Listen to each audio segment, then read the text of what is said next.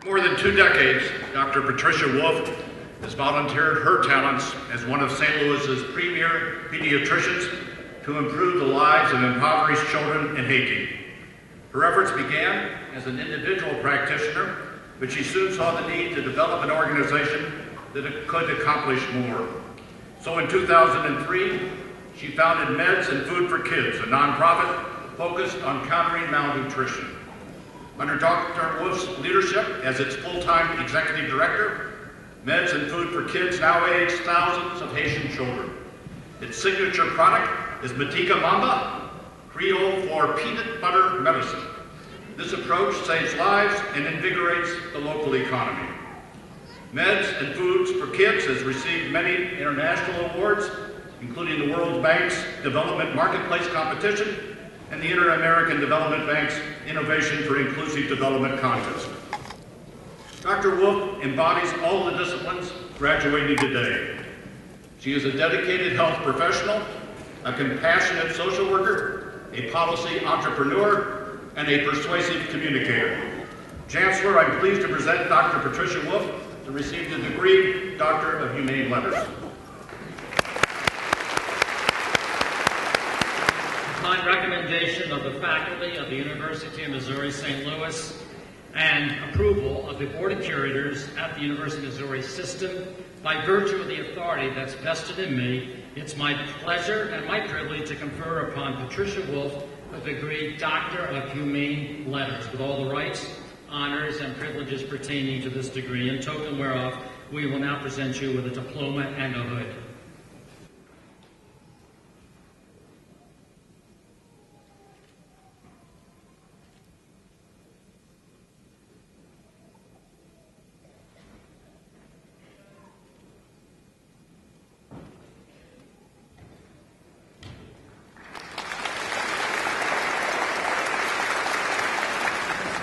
I'm delighted to have this opportunity to speak to the graduates of the College of Nursing, the College of Fine Arts and Communication, the School of Social Work, and the Master's Program in Public Policy Administration.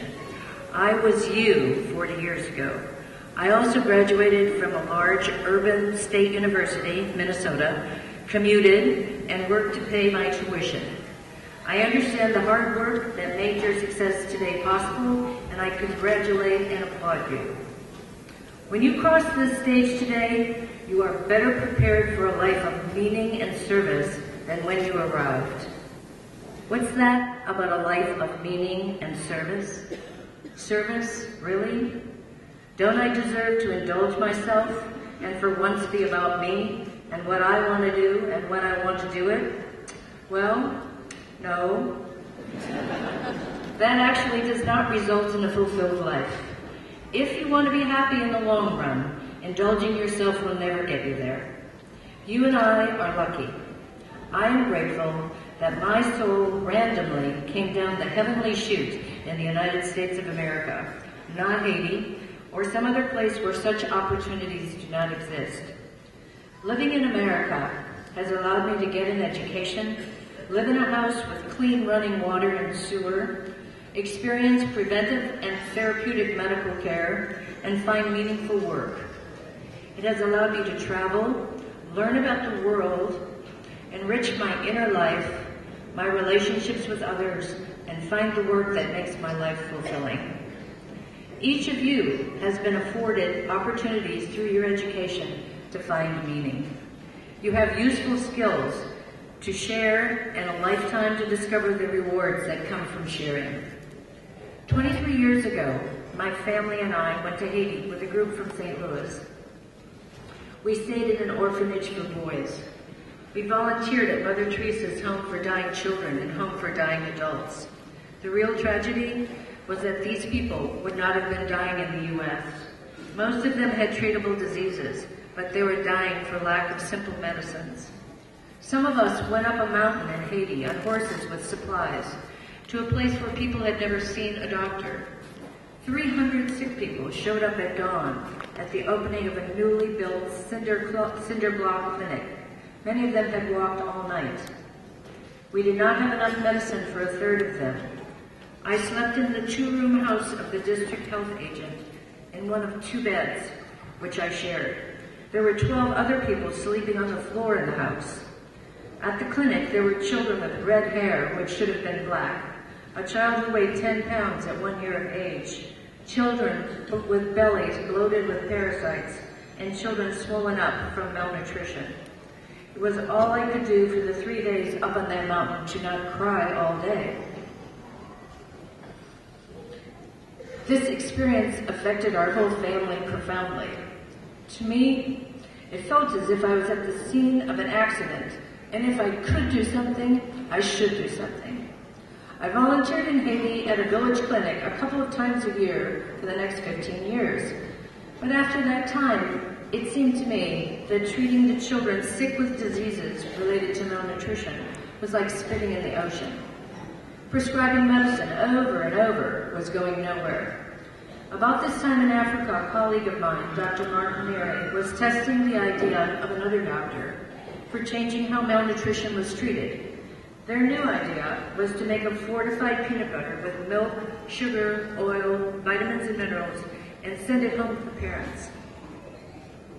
At that time, the recommended treatment for malnutrition was a costly hospitalization for a month, but 25% of the children died and 50% had no change. This new recipe had an 85 to 90% recovery rate. I found a hand grinder and we started making 100 kilograms a month of this miracle peanut butter medicine in a Haitian church schoolroom nine years ago. Children who were lifeless in my arms on admission were running around the clinic in two weeks. Since then, we've moved five times into different substandard rental properties and changed our machinery five times until we now have sophisticated machines run by Haitians. We have saved the lives of 30,000 children so far, but we are on track to save the lives of 80,000 children in the next year. With the help of many people, we are in the midst of building a new factory to make not only this life-saving Medika Mamba, but also products to prevent malnutrition, feed school children upon arrival in the morning, and supplement pregnant and lactating women.